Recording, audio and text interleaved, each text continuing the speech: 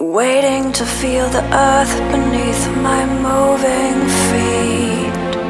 Waiting to see whole faces on our quiet streets. Waiting for concession from inculcated friends.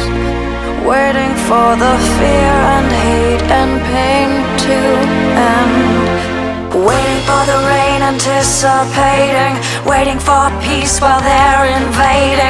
Waiting for the truth that's vacillating.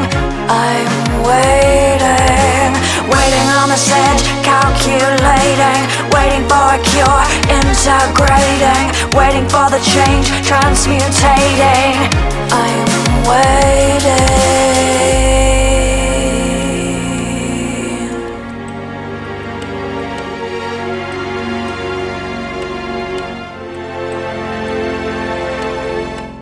Waiting for this body and this mind to move in sync. Waiting for coherence with the breath and my own heartbeat. Waiting for incongruity to make its kind amends. Waiting